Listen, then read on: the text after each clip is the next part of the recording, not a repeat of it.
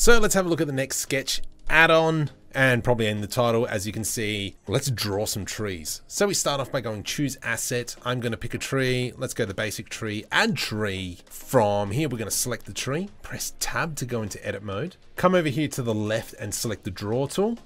And i'm just going to draw a tree. Bam. Done.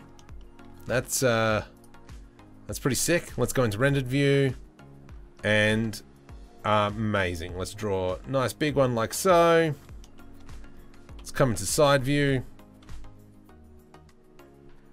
And you can very quickly see the kinds of trees we're creating. Now we can come in here and change the generate, so the kind of like seed number. And now we can randomize those trees even more very quickly. So this is the main thing I wanted to show you. However, this add-on doesn't just do this. We have also, if we go into object mode, let me put a brown color on the ground. And then if we want to, we could go draw some snow, click surface up the top in the top left. And now I can draw a line and we've added a little bit of snow. Now, obviously we can go radius, increase the radius, increase the radius. And now we've got fat chunks of snow that will merge together.